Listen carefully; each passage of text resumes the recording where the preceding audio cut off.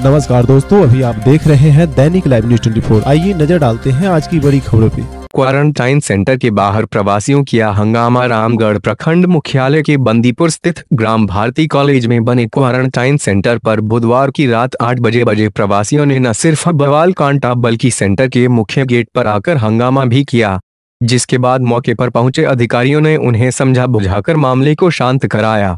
Centre पर रह रहे प्रवासियों ने बताया कि उन्हें मेनू के अनुसार खाना मिलना तो दूर की बात है।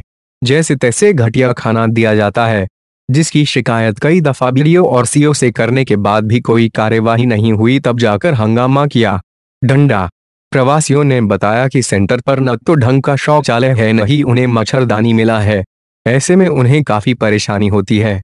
प्रवासियों ने यह आरोप लगाया है कि तबीयत खराब होने पर उन्हें दवा तक उपलब्ध नहीं कराई जाती है।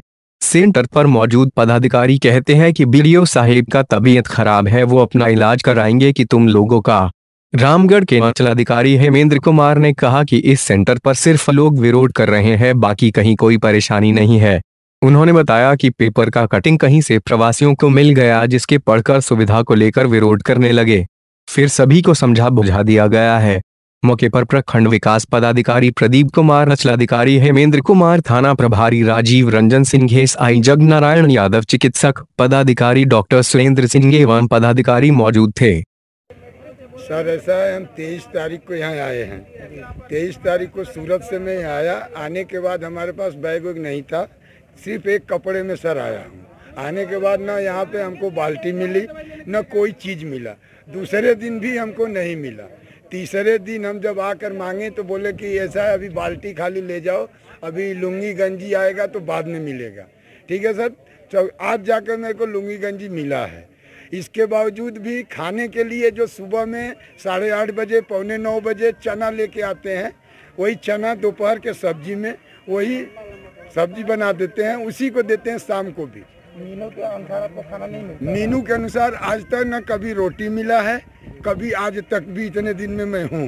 इसकी शिकायत आप किसी पदाधिकारी की सर पदाधिकारी के यहाँ फ़ोन करके किए तो सीधा ये बोला गया कि वीडियो साहब को ग्लूकोज चढ़ रहा है हॉस्पिटल में बीमार पड़े हैं वो अपना शरीर देखेंगे कि आप लोग के देखें। कौन बोला ये यही मास्टर लोग यहाँ पे जो बैठे हैं इनसे जो रजिस्टर करते हैं एंट्री करते हैं। इसके बाद लाइटिंग में सर न पानी है न कुछ। कल भी कंप्लेन किए नहीं। परसों से एक मरीज़ मेरे पास पड़ा हुआ है उसको इतना चक्कर आ रहा है गिर रहा है कमज़ोरी की वजह से चार दिन से ट्रेन में था। कहते कहते डॉक्टर आए हैं बोले हटो हटो हटो। छूने हैं और चले गए। मैंने बोला डॉक्टर साहब इनको देख लो। नहीं देखे फिर घर से बुला करके उन लोगों ने दवाई दे के तो सर गए हैं। आपका नाम क्या पड़ेगा? संजय मिश्रा सर। हैं? दिन आए थे तो एक दिन हम लोग को ऐसा ही निकाले हैं। ना हम लोग को थाली मिला है ना बर्तन मिला ना कुछ मिला है। दूसरे दिन थाली बिली मिला है खाना का वही हाल है चल रहा था ठीक है बोल रहे आज ऐसा था कि आज सामने पानी डाला हुआ था और हमारे लोग कितने लोग हैं जो खाना नहीं खाए हैं। और चना जो आता है वही शाम को भी वही चल रहा है दोपहर में वही चल रहा है और वो बच जा रहा है तो वही सब्ज़ी में डालकर सब्ज़ी बना दे रहे हैं। और बीमार और बीमार कितने लोग हैं? आज हम बीमार थे हम घर से दवा मंगाए थे। और क्या बोलते हैं डॉक्टर से चेक कराएँगे। हम लोग को इसलिए यहाँ पे रखा हुआ है कि हम लोग चौदह दिन के बाद गाँव जाएँगे। अगर एक लोग को बीमारी रहा तो सौ गाँव फैलेगा तो बढ़ेगा कि कम होगा ये? कम सैनिटाइजर नहीं मिला है ना नोज़ नाक अपने मास्क लगाने वाला मिला है। ऐसा चलेगा तो कैसा रहेगा? और एक बात जाने के बाद अंदर जाते हैं क्या बोलते हैं? ये मिला है खाना है खाना है तो आज चार दिन से एक ही चावल खा रहा था हम लोग बोले हमको रोटी चाहिए। तो आज क्या बोल रहे कि हमने पूरी बनवा दिया एक दिन पूरी मिला था वो आधा कच्चा था पूड़ी। आप लोग को खाना मिलता है तो है? नहीं जैसा चाहिए वैसा कुछ भी सिस्टम नहीं है ना मास्क है सैनिटाइजर है हाँ? हमारा नाम राहुल उपाध्याय है। मच्छर का नहीं है। तो है सर। मच्छरदानी है। ना। और डॉक्टर तुरंत चला गया उसी वक्त। कब मिलेगा ये क्या है? यहाँ यहाँ से जाता कहाँ मिल रहा है? हम लोग बारह दिन से बोल रहे हैं। ना ये देखिए ये देखिए ये देखिए हमारा डॉक्टर आते हैं तो बोलते हटो हटो। कि खाना ठीक नहीं मिल रहा है खाना खराब मिल रहा है ठीक है ना? लेकिन मेरे यहाँ पान सेंटर है। पान सेंटर में सभी जगह एक इसी सेंटर में भी एक पार्ट में 113 लोग हैं। ये लोग अस्सी लोग हैं। एक सेंटर पर मुझे मेरा 16 लोग।